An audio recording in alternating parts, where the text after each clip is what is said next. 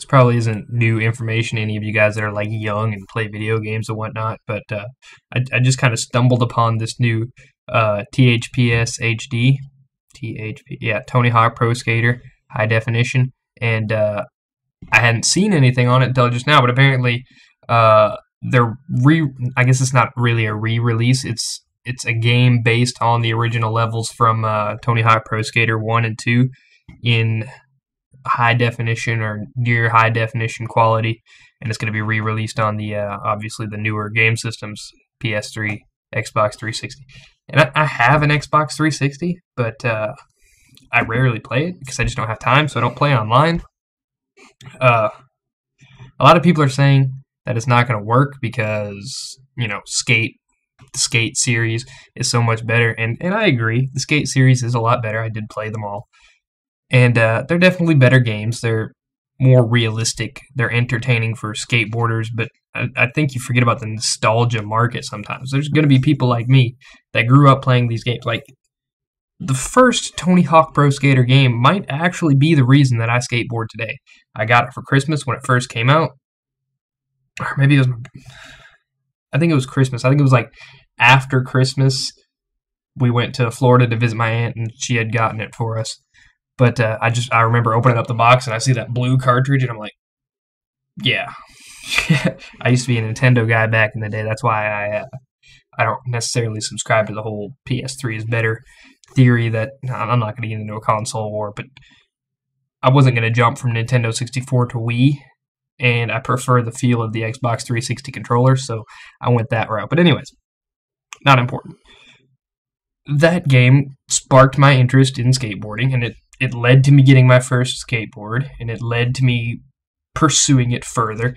And as corny as that sounds and as weird as it is, I bet you there's a lot of people out there that are 21, 22 years old, you know, give or take five years probably, that uh, started skateboarding for the same whack reason. I mean, I'll admit it's pretty lame. It's a it's a little weird. That such. I mean, it, it's not a bad game. It was a I would say it was a really good game for its time. But now you look back on it, you're like, you push square in a direction to do a kickflip. Like that's weak. I get it wasn't even square. I said square because the last time I played the Tony Hawk games, it was actually on PlayStation. I think it was uh, American Wasteland was probably the last one I played. Or yeah, I didn't really play Proving Ground. I think that came out afterwards. I, I really I didn't after Tony Hawk Underground 2 I didn't really keep up with them that much. I think American Wasteland was the last one I played personally. But uh, it, it's kind of cool because this new game is going to have some of the old characters, but it's also going to have new characters because they have to have the new characters. I mean, if you think about it, some of the people that were popular in that game aren't even involved in skateboarding anymore, or they're super old, uh, or just not popular with younger skaters or you know there's younger skaters that are definitely more popular and it's a new game. They're re-releasing it so why wouldn't they? Uh, there, there seems to be not some issues with the soundtrack per se but uh, uh, they're not going to have the original soundtrack possibly. I mean they could but they have to redo all those licensing deals because they're only good for that well those two games because the game is based on the levels from Tony Hawk Pro Skater 1 and 2, not just one of them. And they made it sound like it was going to have a storyline of some sort to me.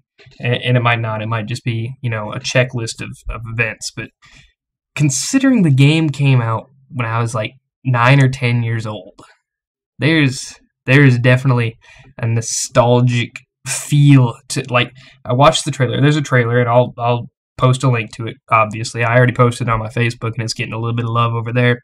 But uh, I saw that the first, the warehouse level, I saw it and I, I recognized it immediately. I was like, a decade ago, I was playing this game. You know, the last time I played it was at least a good seven years ago, but I could still tell you where every single thing in that entire level was. Every piece. And that's that's depressing, but it's a huge part of uh, my youth. And know, it's just it's cool to me to see. And I'm kind of curious as to whether you guys are just as stoked on this as I am because I'm I'm kind of losing my freaking mind. And it I don't think it's going to come out in hard copy. I think it's just going to be a downloadable game. Like you go to the Xbox Live Marketplace or uh, whatever the PlayStation one's called, and and you pay for the game, or yeah, I would assume you pay for the game. I doubt they're just going to give it away. I mean, you know, maybe they'll do hard copies, but the way it read was that it was going to be downloadable content. So we'll see what happens. I'm interested in it. I'm pretty stoked on it. I'll probably spend a couple of bucks and get it. Maybe you guys aren't as stoked as I am, but uh, they did say that if this one, who said it? I think it was on Tony Hawk's Twitter or something like that.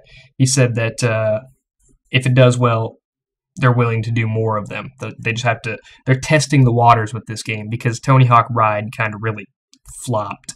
Uh, somebody bought me that for Christmas, and I tried to play it, but it was right after I broke my femur, so I was kind of I was my balance was crap to begin with, and it was super hard to calibrate. Like I'm not gonna move off my furniture so I can play a damn video game, you know? Whatever. It happened. It's in the past, and now it's coming back, and I love it and I want to play it, and I have no idea when it's coming. But uh, go check out the trailer.